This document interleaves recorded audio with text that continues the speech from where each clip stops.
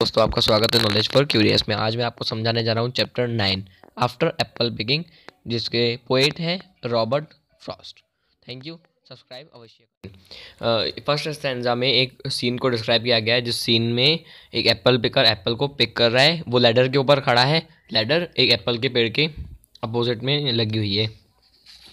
दूसरे स्टेंजा में हमको पता चलता है कि एप्पल की उसकी वजह से उसे नींद आ रही है, लेकिन वो सो नहीं पा रहा, क्योंकि उसे पता है कि बहुत सारा काम अभी बाकी है, यानी एप्पल पिकिंग अभी बहुत सारी बाकी है। तीसरे स्टेंजा में वो बताता है कि एप्पल पिकर और पानी के ऊपर बर्फ़ जमी हुई थी, उस बर्फ़ को हटाया और एप्पल पिकर को इतनी नींद आ रही वो पीछे घास पर गिर गया। और घास पर जो बर्फ़ जमी हुई थी, वो गिर गई। यानी उससे इतनी नींद आ रही है कि वो खड़े भी नहीं हो पा रहा, पर खड़े होना पड़ रहा है। फोर्थ स्टेंजा में बताता है कि उसे नींद के मारे भी एप्पल दिख रहे हैं सपने में। यानी दिन में ही सपना आ रहा है, उसमें भी एप्पल दिख रहे हैं बहुत सारे। फिर उसे महसूस होता है कि उसके पैर में एक तो दर्द हो रहा है उसकी एड़ी में। दूसरा जो सीढ़ी का गोल वाला हिस्सा होता है जिस पे पैर रखते हैं, उसका प्रेशर भी उसकी एड़ी पर पड़ रहा है।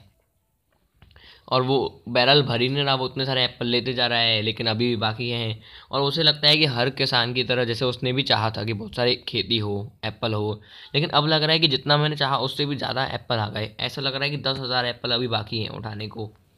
और वो भी उसे ध्यान से उठाने एप्पल गिरने के बाद गारंटेड जूस बनने जाएगा।